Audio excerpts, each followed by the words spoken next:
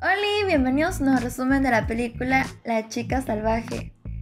Esta película comienza que en un pantano los policías encuentran a un hombre muerto que supuestamente creen que había fallecido por la caída de una torre, pero en su ropa encuentran una lana roja. Tratan de averiguar más, Así que los policías van a un bar donde oyen que la gente dice que pudo haber sido la mujer de la marisma, la chica salvaje, y que ella había estado con ese hombre. Los policías vuelven al lugar a buscar a la chica, encontrando un gorro de lana rojo. Ella asustada se esconde y los policías la persiguen hasta que logran capturarla. La chica estaba en la carceleta, ya que la acusan de la muerte del hombre y un abogado se presenta a ella para ayudarla y este le pide que le cuente sobre ella. La chica empieza a decirle que sí tuvo familia, su nombre es Gayar y que su padre era muy violento con ella, sus hermanos y su madre y un día su madre la abandonó y así cada integrante de su familia se fueron y ella quedó con su padre hasta que se encuentra con Day, un amigo de su hermano. Luego ella y su padre van por comida la vendedora le dice que debería ir a la escuela. Ella decide ir y todos sus compañeros se burlan de ella y le dicen groserías, por lo que decide nunca más volver. La convivencia con su padre era buena. Recibe una carta de su madre, pero su padre la quema y le dice que no volverá jamás y quema todas las pertenencias de ella. Y un día su padre también se va, dejándola sola, y ella tiene que sobrevivir, así que decide hacer negocios con el dueño de la tienda, vendiéndole mellajones. La señora le da ropa, zapatos y volvemos al presente, donde vemos que están a punto de darle cadena perpetua o pena de muerte a Kyer, si es que le encuentran culpable. El abogado le aconseja que diga que tuvo una fuerte discusión con el hombre, ya para que le den 10 años. En la corte, el abogado menciona que es probable que nadie mató a Jace, sino él se cayó. Volvemos al pasado, donde Callar ya era joven y se encuentra con Day, ya que él había estado dejando semillas. Esto ofrece enseñarle a leer y a escribir, y vemos que ella extraña a su familia.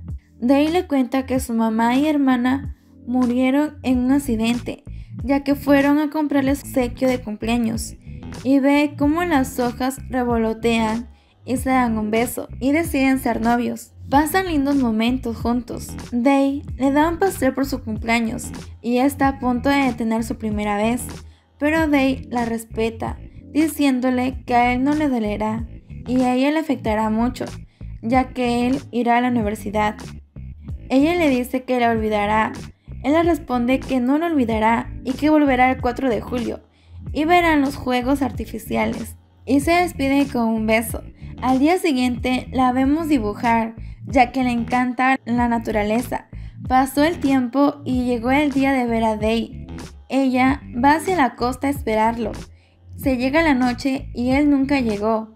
Volvemos al presente, donde el abogado vuelve a decir que por la marea las huellas se borraron y dice que la reja de la torre siempre está abierta, por lo que Jace había caído solo. En el pasado vemos que Callar ve que un hombre toma fotos de su casa, ya que quiere hacer hoteles. Pasa el tiempo y vemos que Kyer conoce a Jace. Él le invita a salir. Kyer va con un señor a ver si ella era la dueña de la casa.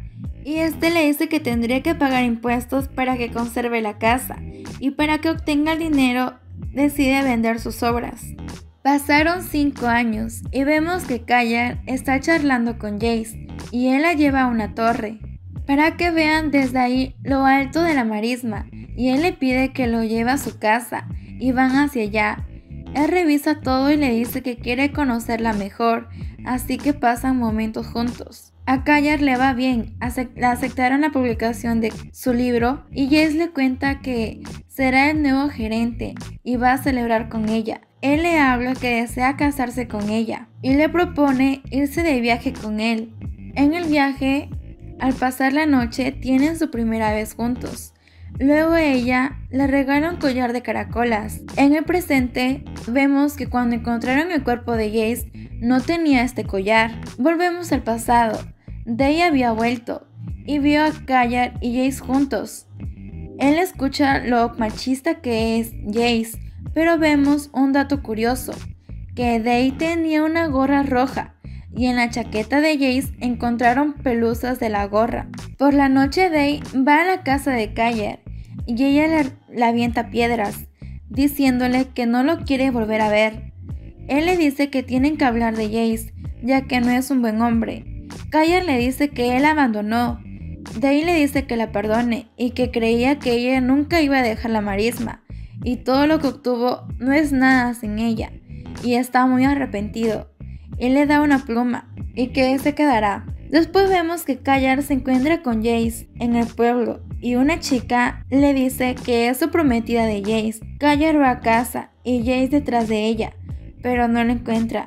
Ella empieza a llorar y la vemos que después va a pagar impuestos, remodela su casa y se encuentra con su hermano, gracias al libro que publicó. Él le dice que no sabe nada de los demás que su madre falleció y vemos que Jace va a pedirle perdón, pero ella no la acepta. Él le tira un golpe y ella se lo regresa. Él intenta abusar de ella y ella trata de escapar golpeándolo. Pero en el presente, un testigo dice que Kayar lo amenaza a Jace de muerte.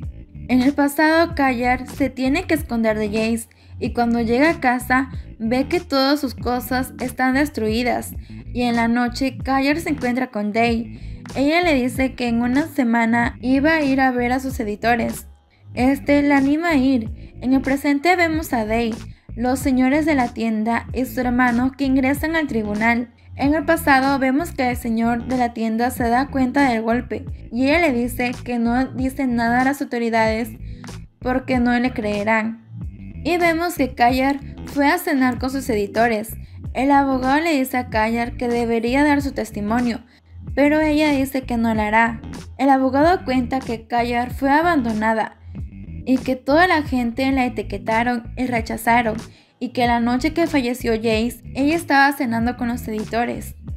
Y el Estado quiere acusarla que ella tomó el último autobús y llegó a la marisma a matar a Jace y por la mañana vuelve con los editores. Pasa la hora y el jurado tiene su veredicto, dando libertad a Kayar. Ella agradece a todos y va a casa. Se reconcilia con Day y él le propone casarse con ella. Kayar le dice que ya están casados. Después de días, vemos que la familia de su hermano va a visitar a Kayar. Ese es señor de la tienda y pasan los años y vemos a Day y Kayar viejitos. Kayar recuerda a su madre y fallece. Day llora la muerte de Kayar y él revisa los libros encontrando el collar de Jace, ya que Kayar sí lo había matado, para que así pudiera sobrevivir y deje de molestarla. Day arroja el collar en la marisma y así termina esta hermosa película. Nos vemos en un próximo resumen. Gracias.